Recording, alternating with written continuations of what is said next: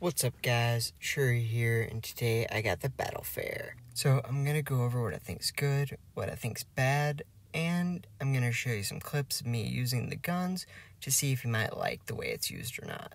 So first up is Stormbringer. I think this is probably the number one thing that you might want.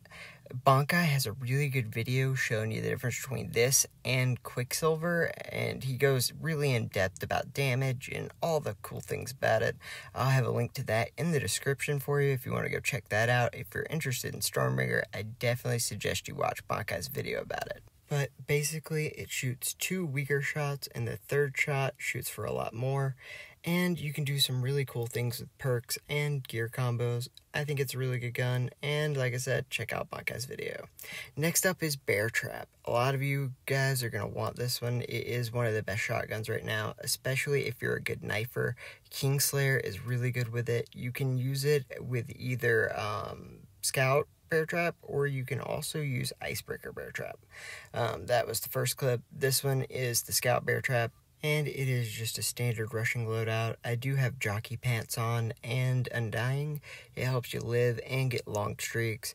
With this gun, it shoots really, really high damage, and then you can knife with Kingslayer, and you can end up getting a one shot, one knife kill a lot of the time.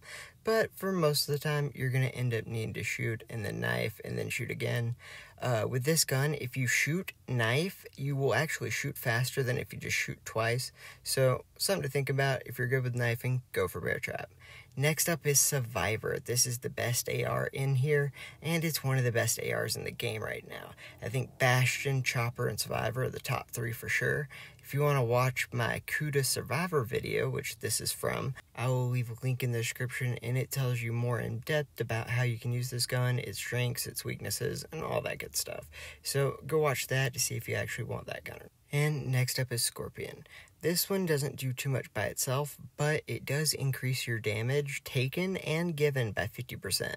So it's a double edged sword to where people can kill you faster, but in moments like this where I've already gotten two kills and I need to one shot people with my crossbow, it can allow me to do that. You can also use this with something like a uh, last breath, which will allow you to one shot with that, and then start using the last breath perk after that.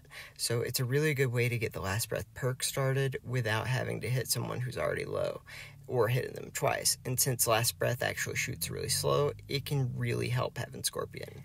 And this one is from a video that I took where I got my highest score ever on Saloon of like 538.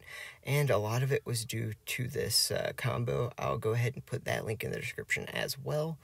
And if you like to use crossbow and or last breath, I recommend you pick this up if you don't really need anything else because it can really help you in some tight spots and really get you kick started, especially when you're having like an off day and you're not really able to outplay people too well. You can sometimes sneak up on people with this and get that confidence up and then just slay out like normal. So next up is Zero, guys. This one actually protects you from frost damage, and while it protects you against all of these guns, the only ones you really need protection from is the Orion. It'll make the Orion do a lot less damage on you, so if you're getting attacked by a lot of Orion people, maybe change to a loadout that has this frost armor, and it could help you a lot. Next up is Cheetah. So Cheetah actually reduces your reload speed by 30%, and it will give you 20% speed boost. So for all of these guns that have one-shot sniper, it is really handy, especially for something like a crossbow or a last breath, it has to be there. Then you got the last two, which are Matador, which if you want to get it, go for it, and then Avalanche, if you want to get it, go for it. But those two are really just here because they needed something to fill the eighth and seventh spot. But I would go for those last after you have everything else. But pretty much anything before that, just get it if you need it. And I gave you the reasons why you might need it. So I hope this was helpful, guys. Sorry if it sounded weird with the microphone. I'm actually in a car on a road trip right now, and uh, so I'm in a enclosed space. But um, figured I'd go ahead and get this out because a ton of people ask me what I think about this battle fair, and this is what I think. So, I hope you guys all have a great day. The next video after this one will be Bastion, and then after that, we are going to do the phone series. Alright, guys. I hope you all have a great day.